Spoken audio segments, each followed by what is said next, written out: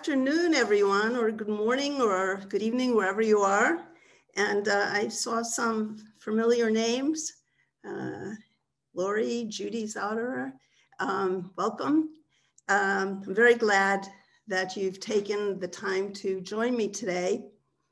Uh, since this is the last webinar, um, let's try and have a lot of fun, okay? So I'm gonna start you off with a very, uh, what I think is a very provocative question. Are you up for that? Are you up for that? Yeah? Um, my staff here is monitoring your hands up. So here's the provocative question. We're gonna take about five minutes to go into small groups and answer a question. And here's the question. What's the one thing that everybody wants? The one thing that everybody wants.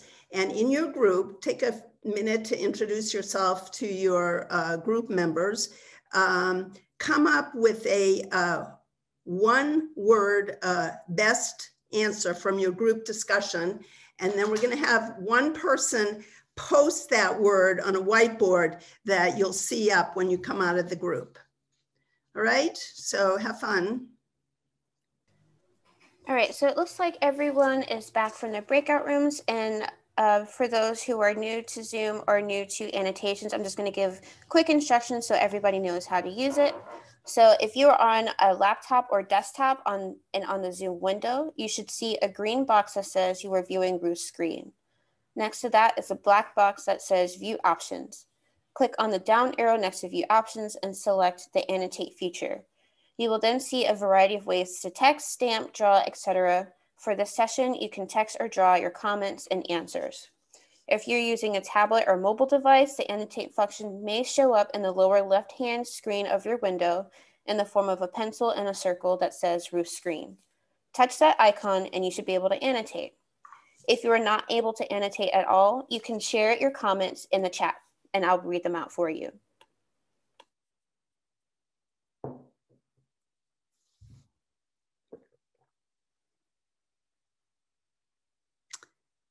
N, oh, normalcy. Ah, okay, yeah.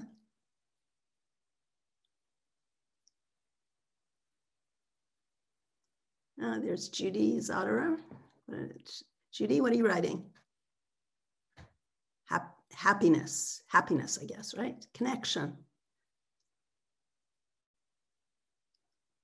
Acceptance, yeah. Happiness. Well-being, respect.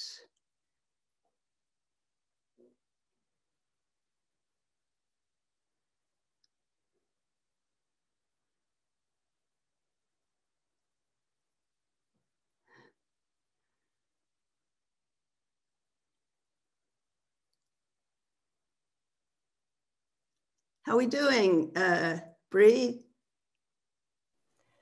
Um, I think people are still annotating. Okay. Um, but there was only seven seven breakout rooms, so okay. that actually might be everybody.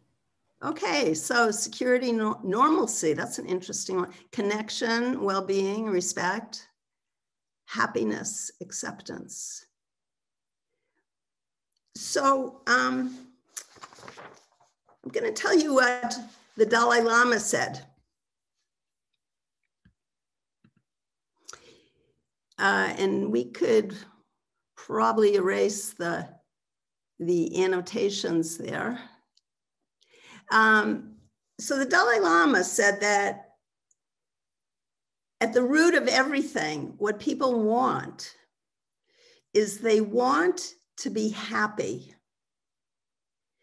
He said, the very purpose of our life is to seek happiness. And things like connection and well being ultimately bring happiness. So I think in some ways we're all saying the same thing. So I guess the next logical question in these uh, uncertain times, in this new normal, is if happiness is something that we all aspire to, how are we doing? How are we doing? Um, so here I have a screenshot of a pina colada on the beach, right? How about a pina colada on the beach? Would that bring us lasting happiness? Mm, no, not lasting, but it might bring us a few moments of pleasure, right? But then um, it could start raining on us. Um, maybe we would start frying in the sun. Um, and then, of course, we could finish our drink and want more. Um, so it's, it's not a lasting kind of happiness. I do hear you, though, believe it or not you're probably thinking, so what? A few moments of a pina colada on a beach is something that I could really go for about now, right? This straight shot of this new normal life is uh, getting a bit uh, wearing. It can take your breath away, in fact. So the truth is, a pina colada on the beach or whatever you choose to distract you from this straight shot of this life is going to be fleeting. And so we often, continually rather, look for distractions.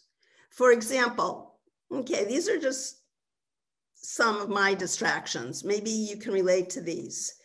Um, how about eating chocolate? Yeah. How about just eating?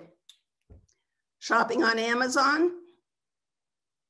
Or maybe overworking so you feel like you're getting something done?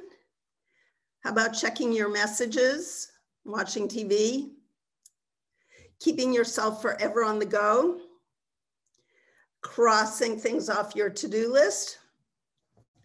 And some of our distractions are far from a pina colada on the beach. They're actually rather annoying distractions, like procrastinating, putting off stuff we don't like to do. That's a distraction, believe it or not. Or worrying about the future ruminating about the past and regretting how you acted, what you might have done differently. Or maybe you're thinking about what people have done to you. These are all distractions, right? Um, distractions of any kind do not contribute to, to lasting happiness. So I'm going to give you a definition of true happiness. And this definition is from Matthieu Ricard. He's a brilliant uh, Buddhist monk, and he's often been labeled the happy, happiest man in the world. And he said, Happiness is this, and you can read it a deep sense of flourishing that arises from an exceptionally healthy mind. It's not a mere pleasurable feeling or a fleeting emotion. It's not a mood. It's an optimal state of being regardless of external circumstances. It's a profound emotional balance struck by a subtle understanding of how the mind functions. So the good news is that we don't have to give into our distractions, as abstract as this definition may sound at the moment. We do not have to say yes, sir, to our monkey mind. Let me introduce you to monkey mind. So monkey mind is this voice inside of our head that is always speaking to us. Blah, blah, blah, blah, right? Uh, it's, it's jumping around from one thing to the next. And if you listen, you can hear it.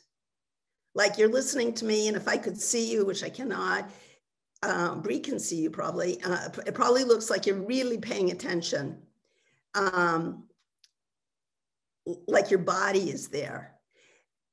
And is there a voice in your head right now wondering what you might have for lunch as soon as this is over? Right? Or maybe you're starting to cr critique me. Should I have really gotten onto this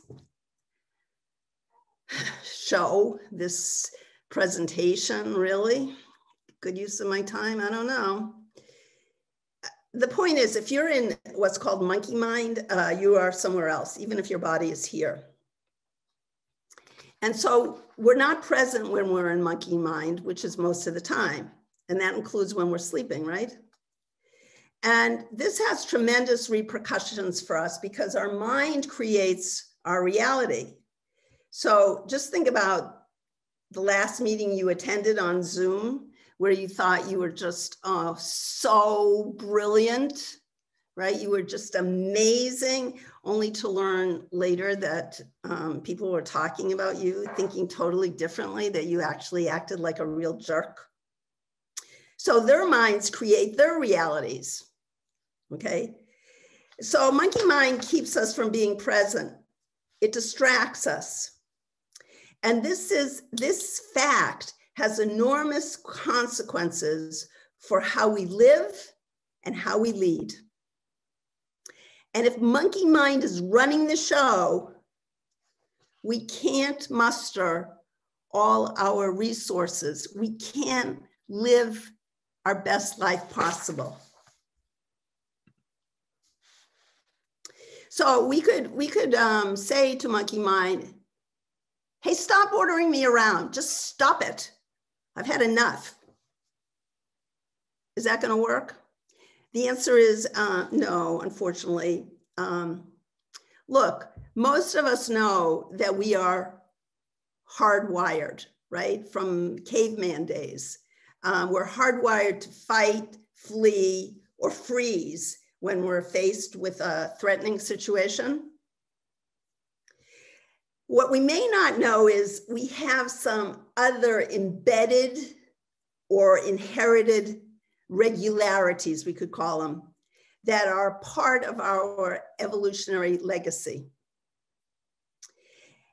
And these uh, tendencies are designed to promote our survival, not our lasting happiness which is to say, we do not come into the world as a blank sheet of paper, okay? Our brains have very, very complex architectures that predispose us to act in certain ways, especially under threat. And this preconditioning, this hard wiring that we come into the world with predisposes us to monkey mind, okay? So um, this is operating all the time. Monkey mind controls us even if we don't know it. And this leads to this huge problem, which I call the problem of I, me, and mine. Okay. And this is the story we tell ourselves about the life we are living in our story is so pervasive that we don't even know we're living in a story, right? We assume that me, me, Ruth, has a solid identity. And you, Laurie, you're a different person than me. Okay? And then we endow ourselves with opinions and um, feelings. And we feel compelled to live and defend our story. So here's the point I'm getting to here, and this is going to depress you before lunch. So let me apologize here. I'm very sorry about this. Monkey mind is our living proof that as human beings, we are not in control of our minds. And our minds are not rational. We make choices based on our thoughts and emotions that are being jerked around all the time And then after we make these choices, we rationalize why we did what we did afterwards. And we rationalize it, what we did, based on the story we think we're living in. So the way we see the world depends on the story that we're living in.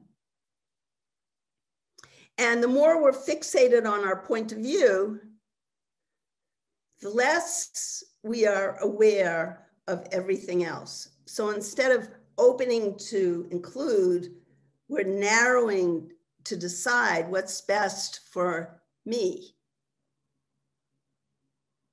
So if we want to be as open as possible to the full range of information available in each single moment, in each second, in every now, there's no better way to do that than cultivating our ability to rest in what I'm calling inherent awareness. It's our basic consciousness. Instead of a mirror being held up to ourselves, reflecting our own point of view, we can make use of a bigger mirror altogether. Inherent awareness is like a mirror. A mirror is not hardwired. It doesn't have conditioned responses. It reflects everything as it is that comes before it. So a mirror is not judgmental. It reflects what is. And when we learn to rest, just rest, into inherent awareness, we realize that our mind is like a mirror. It's actually like a cosmic mirror. It can actually accommodate without judgment, without story, without the white noise of monkey mind in the background.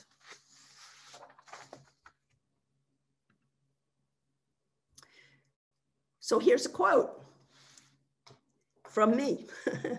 Until we begin to recognize monkey mind, we cannot reliably connect with our inherent awareness, our deeper consciousness, that is like the dance floor on which all our monkey moves occur. So it's a problem if we don't recognize our monkey mind. It's a problem, and it's also a, determinant of the quality of our life altogether if we recognize or we don't recognize monkey mind. Being in our own story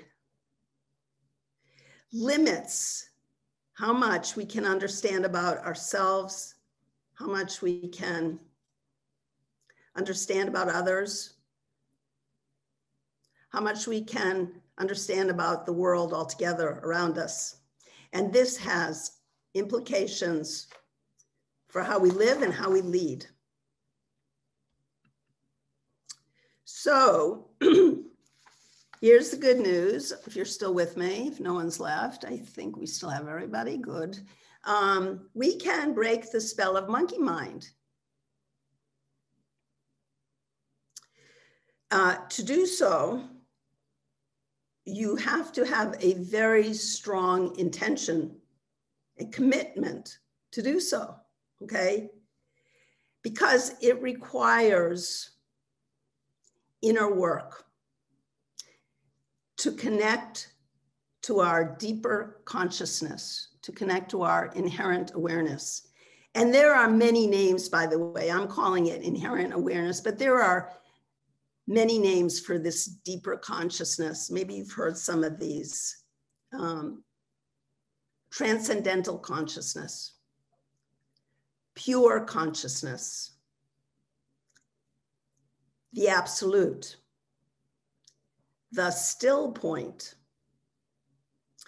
silence itself, essence,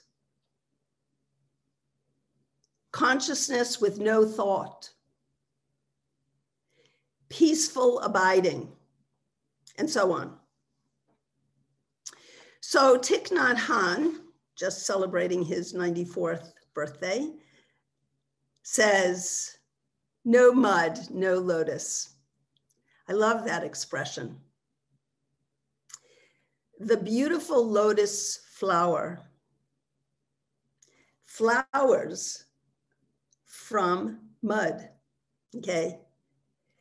Without mud, the lotus could not flower. So you could think of monkey mind, monkey mind as the mud from which the lotus of our inherent awareness flowers, emerges. So from this perspective, monkey mind isn't so awful after all. Taming our monkey mind becomes the medium we have to work on ourselves. So another way of saying it is monkey mind is actually a gift to us because the energy that's trapped in all this noise, blah, blah, blah, has great power if we can tame it if we can use the energy of monkey mind for a greater good. So we train our minds, which is the inner work, so that the deeper qualities of our mind can flower. And that means connecting with how our mind works. And as we do this work, which we're actually going to do together in this talk in a few minutes, um, we begin to actually have the feeling that when things become more spacious in our consciousness, monkey mind kind of settles down in the space. And in this way, we can attain an optimal state of being. We can attain this uh, profound emotional balance that Matthieu Ricard includes in his definition of lasting happiness. So what I'm here to say is, and as a professor of leadership at Key, what I'm here to say is that this inner work as leaders should be our most important goal connecting with our minds and becoming familiar with how our minds work.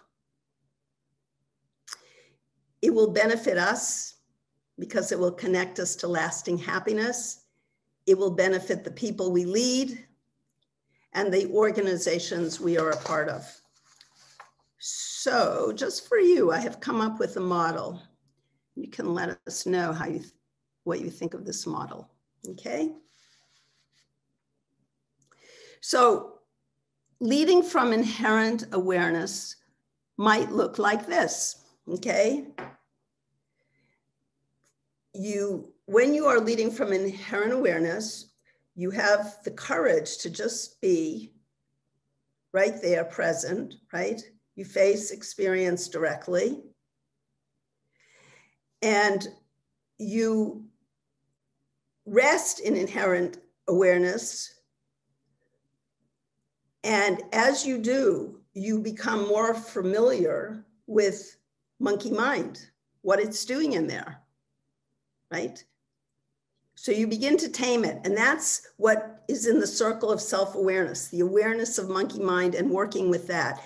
And then from there, once you have tamed monkey mind, your true being, your character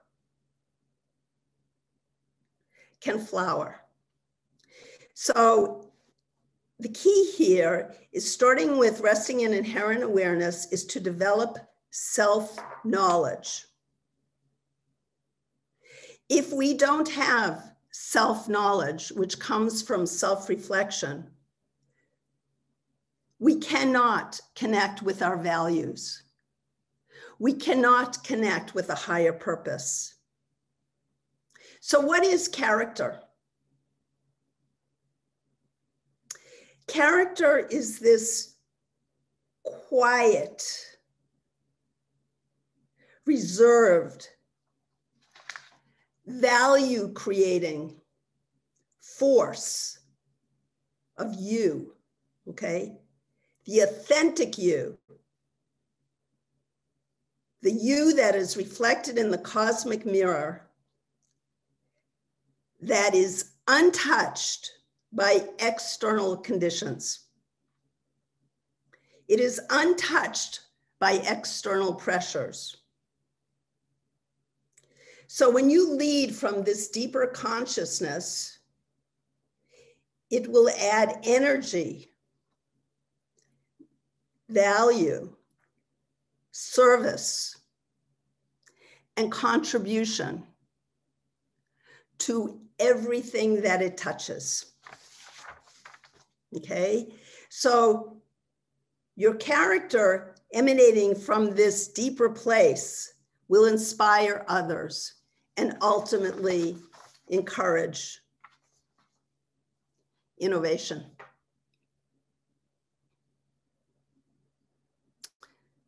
So that's the model leading from inherent awareness. Okay, so let's get some of this. Want to get some of this? Seems so lofty an idea, right? But I think you're still there. So let's try and get some of this, okay? Um, how do we do it? How do we do this inner work to become familiar with our monkey mind? Well, a profound way of doing it is learning how to control monkey mind through mindfulness meditation. Okay, so this is a powerful practice. And here's the definition on this slide. Mindfulness is paying attention in a particular way on purpose in the present moment and non-judgmentally, right? So again, the metaphor of the cosmic mirror here, non-judgmentally, okay? So through mindfulness, we be, begin to see our habitual patterns and we begin to recognize monkey mind for what it is. And through the practice of mindfulness, we can connect to our deeper consciousness. And monkey mind becomes more and more settled down.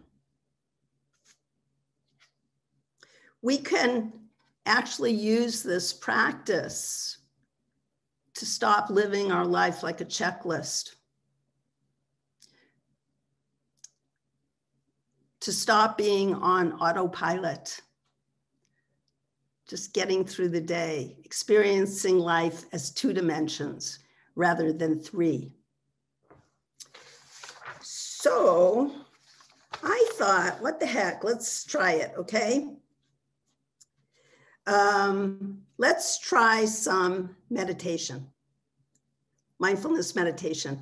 And if you've never done it before, no matter, I'm going to guide you through everything. Okay.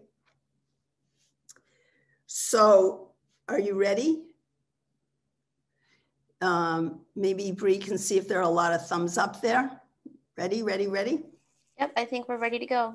Okay, so um, most of you are probably sitting in a chair. you could sit cross-legged on the floor. If, if you're sitting on a chair, I'm going to give you a sound meditation. It's a very, very, very easy way to be introduced to mindfulness practice. There are hundreds of mindfulness practices. Here's a simple one. So I'm going to ask you to take your seat, sit solidly in your chair, in the center of your chair, like a king or a queen on the throne. and your spine is upright. It's not rigid, it's upright. Okay. So you could say loosely upright. You don't want your back on the back of your chair. Okay. And your hands are on your knees. And your feet are flat on the ground. And your chin is tucked slightly, and your mouth is slightly open And your tongue is on the roof of your mouth so that you're not clenching your teeth. Now I'm going to ask you, and feel free to turn off your video if you want. Just close your eyes, just listen. Just feel your body.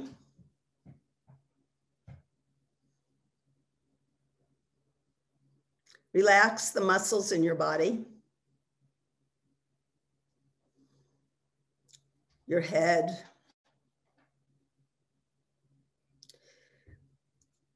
Your face. Your neck.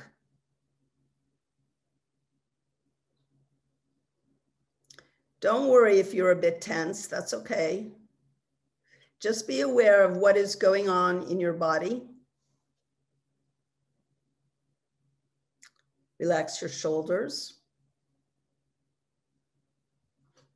back, upper back and lower back. Relax your chest, stomach, arms, legs. Just be in your body. Don't try and control anything, just be. Now, I'm going to ask you to listen to any sounds that are available to you. A fan, air conditioning, coughing, birds, your neighbors.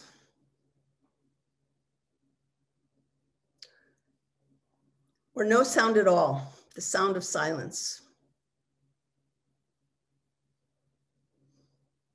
Maybe you hear inner sounds ringing in your ears, stomach growling. Maybe you hear your heart beating. So notice these sounds coming and going.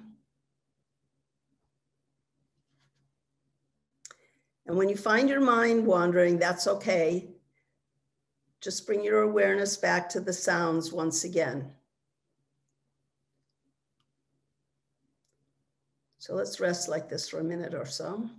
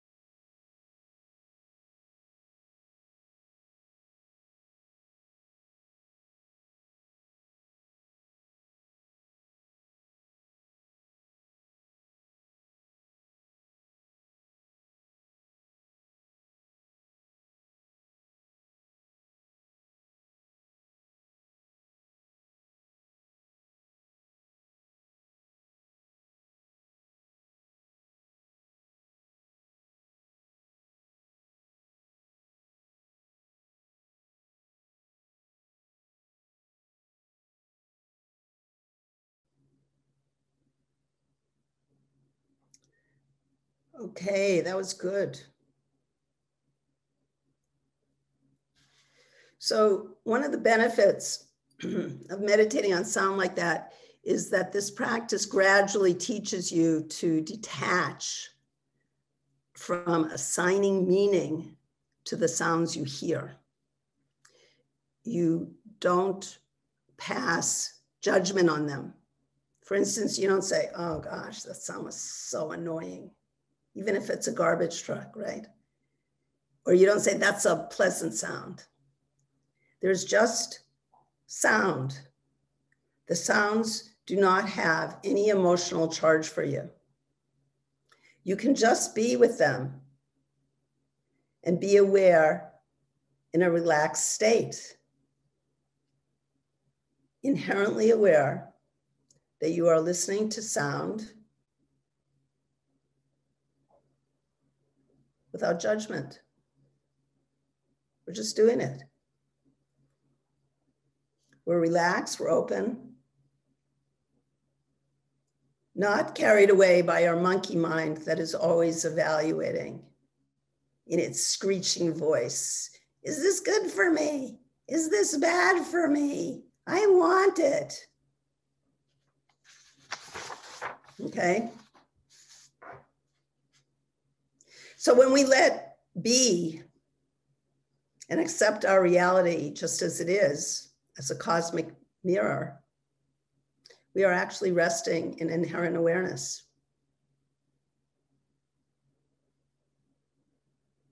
We don't take anything personally. Just like we accepted the sounds, we can be in inherent awareness all the time, not constantly evaluating, not taking things personally, just responding and reflecting to what is in a relaxed state.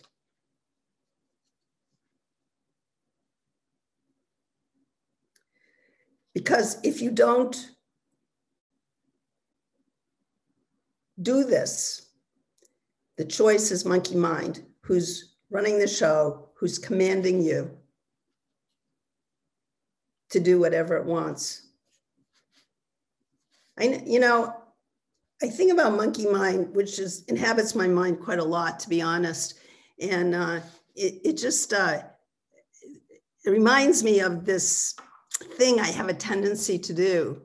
Um, so I have this, um, I like shoes, right? I, I, used to love to buy shoes because when I was young, I only had like one pair of shoes. So when I started to work and had my own money, I would, the first thing I would buy is shoes. I didn't even know how many shoes I had, just shoes and more shoes. So when I would go by a shoe store, I didn't even know I was doing it. Monkey Mind would be in control and I, I, I go into a shoe store and buy shoes. And then I say, this is ridiculous. How many shoes can you wear? So I'd say, um, calm down, monkey mind, get out of here. I'm not buying any more shoes. And then what? Before I knew it, I was coming out of a shoe store with, with more shoes. So um, learning to tame our minds takes practice, takes time. And it's a good use of your time. Let's just for a few more minutes, let's rest in open awareness. Let's, let's see how we feel after we do one more practice together. Okay, so again, take your seat. Feet on the floor, hands on your thighs, chin tucked, mouth slightly open. You can close your eyes or lower your gaze. And I'd like you to just be. Pretend you just made Thanksgiving dinner for everybody in your whole family and it wasn't COVID times and you had 25 people over your house. You made the dinner, you cooked the turkey, you did whatever, you set the table, you cleaned your house, you even cleaned the corners in the bathroom that you never get to. They came, they had a great time, they all went home. and then you had to clean up after your wonderful dinner for two hours, and you did that. And now you're just sitting in a chair. Ugh totally relaxed. Whew. Just be. Whew. Just be.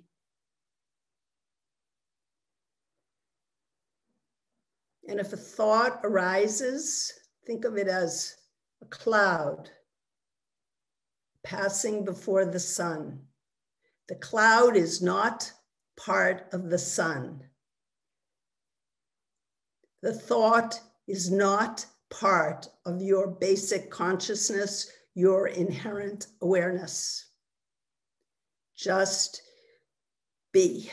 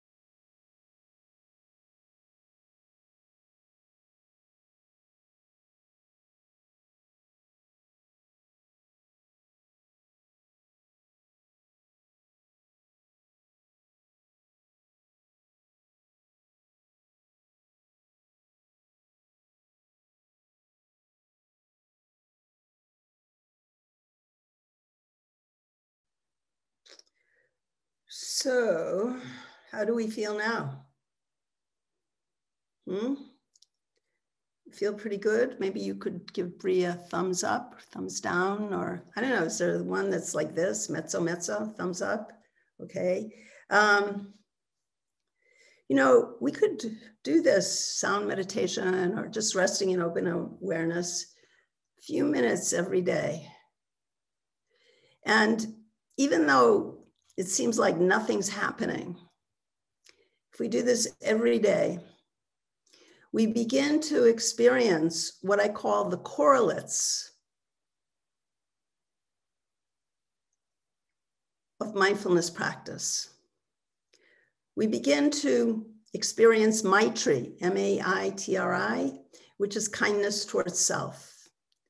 When we become kinder towards self, we become kinder toward others we begin to have a sense of what's important to us,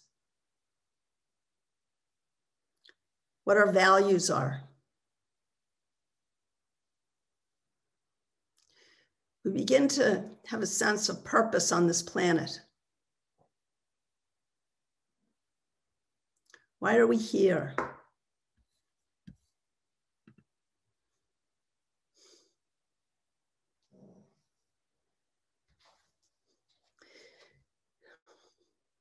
This will help us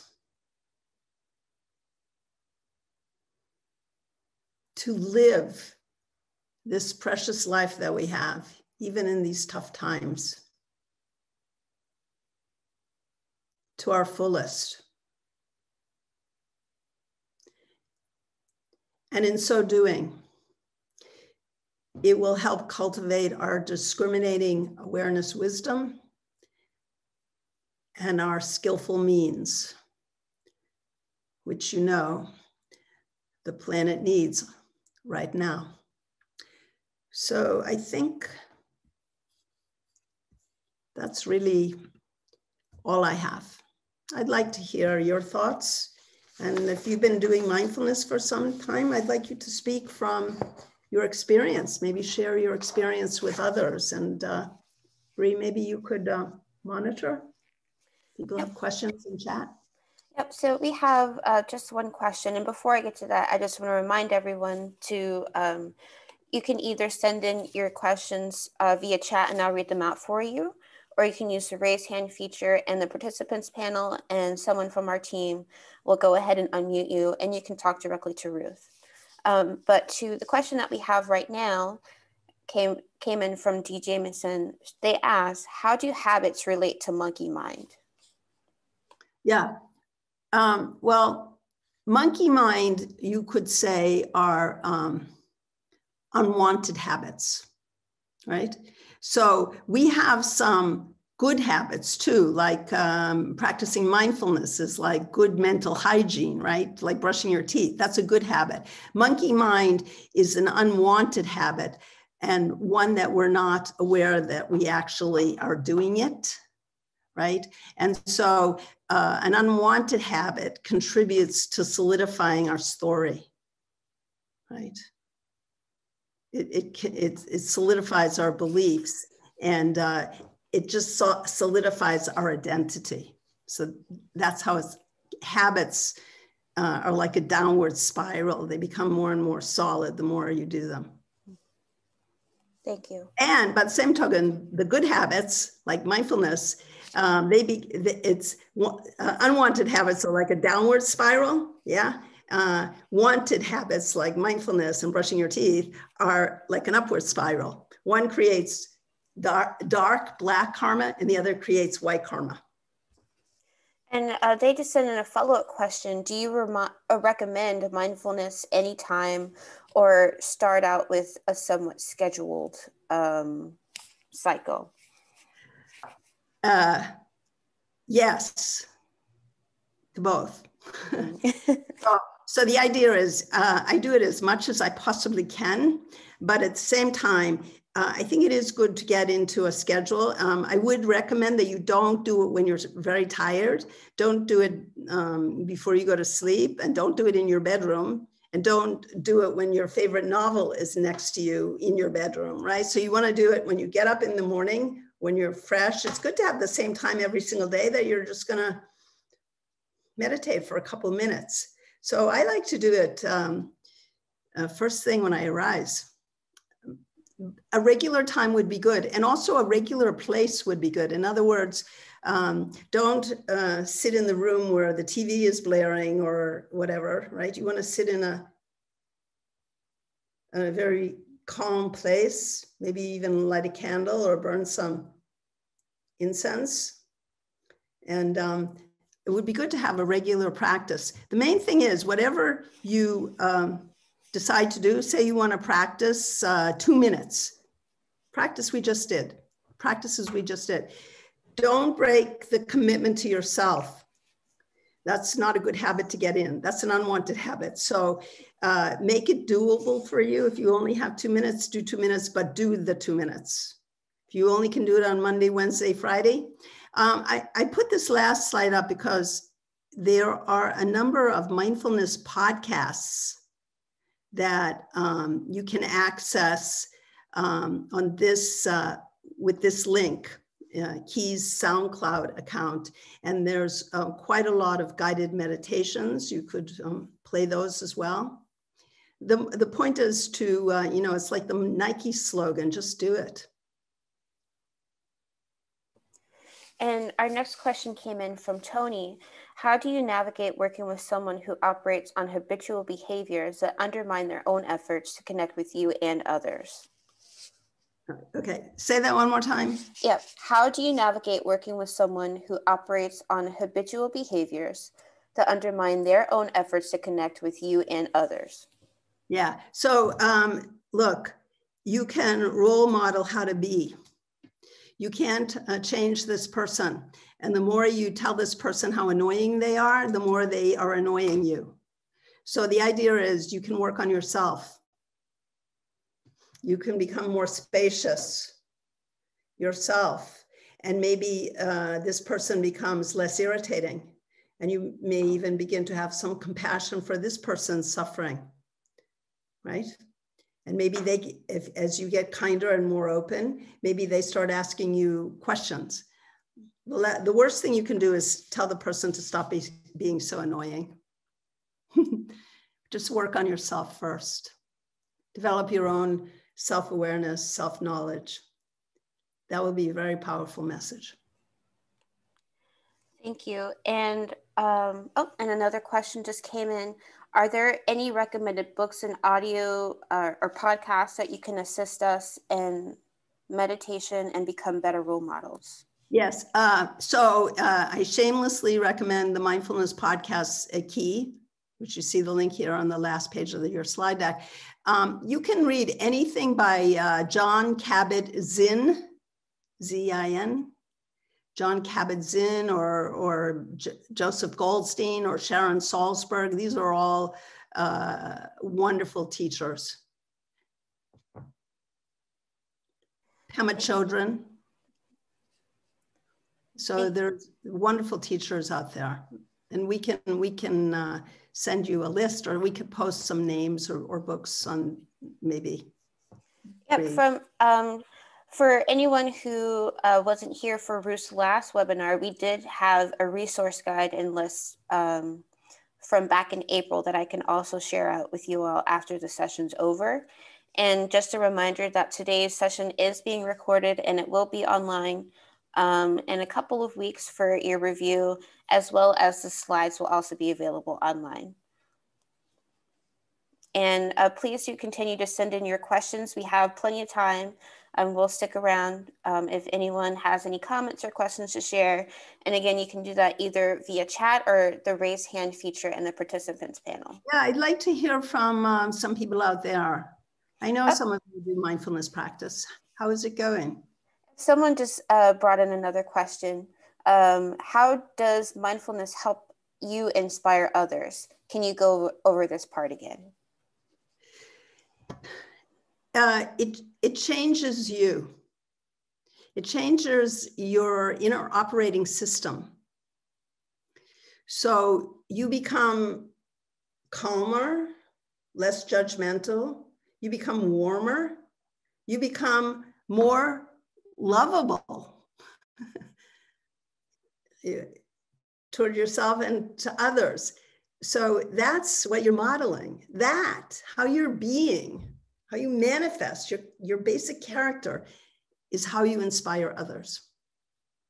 So you work on yourself. That's where you start. And that's what eventually how you how you manifest is what in fact inspires others. They're, they're attracted to your energy. They want to be influenced by you. They want to connect to you. Thank you. And I am just about to share the resource list from the previous webinar and the chat feature for anyone who wants it. And I will also be sending it out um, after today's session um, with a survey evaluation and other relevant links for today. Um, but if no one else has any questions or comments, I think we can go ahead and wrap up for today. Um, but we'll be here if you have anything you want to say. Yes, good luck with all this. Mm -hmm. Uh, and thank you so much, Ruth, for being here with us today. Um, it's been so nice to have you back in the series and to close it out. It's a very timely and relevant topic, and I think a lot of people um, find great value in what you do and the knowledge that you're able to share with us. Thank, Thank you. you. My pleasure.